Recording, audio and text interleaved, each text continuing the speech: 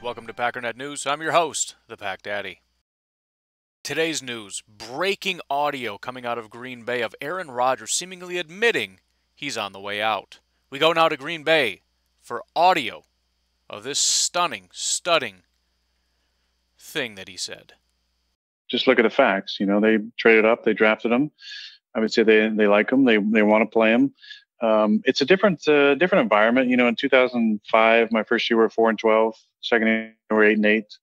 Um, there wasn't a clamoring, you know, to to play me because it was normal for young guys to sit. You know, in the third year, 07, we go 13 and three. We're you know one play, we're overtime in the NFC Championship, playing at home against the Giants from going to the Super Bowl.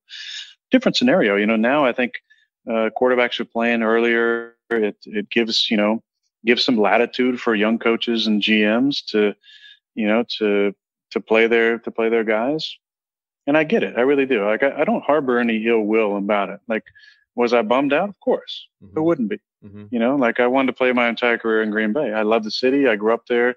Really, I was got there. I was 21. I'm 36 now. You know, a lot changes during that time.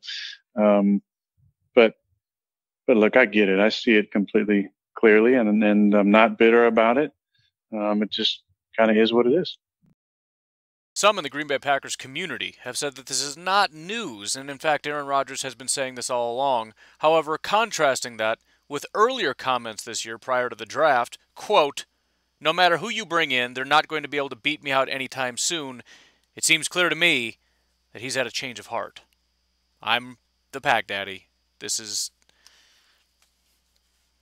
Your guess is as good as mine, man. I don't know what this is, but. I mean, it's crazy, though, right? I think it's different. I think what he's saying is is different.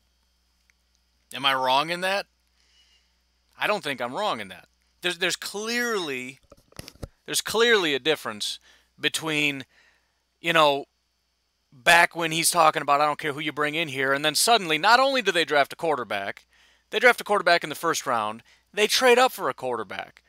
So his whole mentality of go ahead, bring somebody in. I'm going to be better than them. They're not going to get rid of me because I'm just going to win the job has transformed into I don't know, man. It's been fun. Uh, you know, I thought I'd finish my career here. He's already talking in the past tense. I wanted to, but you know, I guess I'm not going to. It's a sad day, but Aaron Rodgers, whether he's right or wrong, and I don't know if he's right or wrong. Maybe he will stay and he's wrong about this situation. Maybe Jordan Love never sees a starting role. You know, if he plays like Brett Hundley, what are we going to do? We're going to play him? No, just whoops a daisy and you just go on with Rodgers.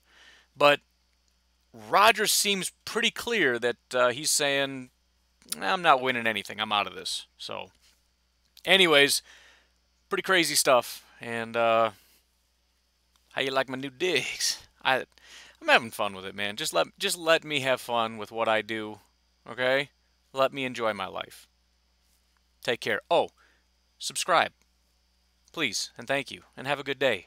And don't worry, Rodgers will be around for a little while. And subscribe, please. And and and have a good day. Bye.